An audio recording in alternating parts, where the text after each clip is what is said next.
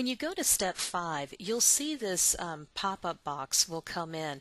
It'll give you an opportunity to look at more tutorials or just take you right to building your website. You can just click on the build your website and it will take you right out to the page. Now WYSIWYG means what you see is what you get. Um, it's basically showing you the design of your website. Now I had gone in and I did not check that I wanted this cleared off. So what I'm going to have to do is go into my source or HTML coding in order to erase some of this stuff because I want to build my own um, tables and have my own customization for the page. So I'm just simply going to go in and I highlight it all and then I'm just going to hit delete on my keyboard. And a lot of people go when I do that. it's just something within us, you know. We always feel like, oh gosh, shouldn't do that. And I'm going to choose this tool here. Um, this is called the layout template. Let me go through each of these tools for you uh, one by one. This is full window, so if I click on that, it will give me a bigger size um, for my window so I can see better about what I'm doing. Um, these spy glasses are find and replace. Let's say I wanted to replace Sarah Spencer Solutions with Vermont Virtual Assistant every time it was mentioned. That is what that tool is for. Um, cut, the scissors would be basically cut and paste. If you're familiar with um, Word products or Excel spreadsheets, you're very familiar with cut, copy, and pasting tools. Um, this other one, pasting from an external source such as Word, be careful of this tool. Um, I'm sure it's improved over time, but sometimes I find that um, it doesn't always translate very well and can get a little wonky if you're copying straight from a Word document.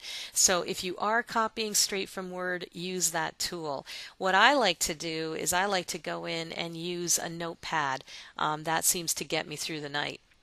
This tool is undo, the one next to it redo. So if I make a mistake or I want to redo something, I can. I can insert tables with this next tool. Um, if you've ever worked with tables in Word, um, this will be very familiar to you. You can also insert pictures and insert video, which has been huge for my Got Clicks business because people want to see what the video is all about. Um, it was one of the biggest boosters for Got Clicks being able to have this tool.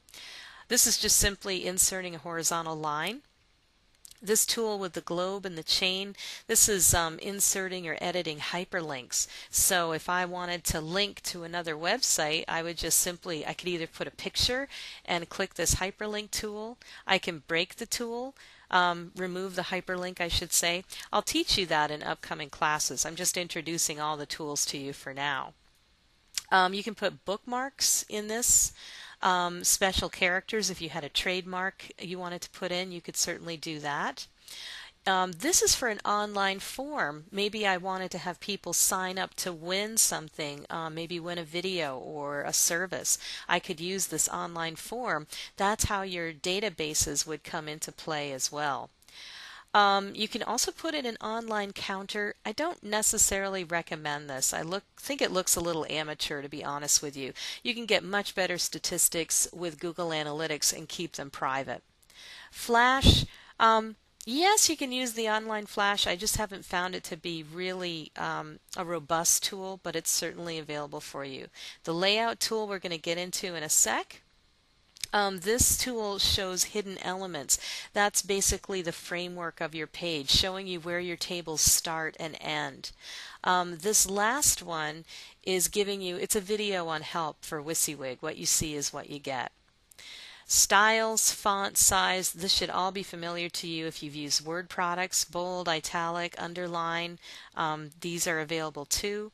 If I click this arrow, it'll tell me superscript, subscript, and strike through um, changing my font color, highlighting a, a, line of text. My alignment bars are all here. Um, direction left to right, I can do that with my paragraphs to adjust those. You might be familiar with that again if you've used Word products. These are all bullets. And lastly is indenting or decreasing the indent of your paragraph. So now that we've gone through what the tools are all about, let's work exclusively with the layout template coming up next.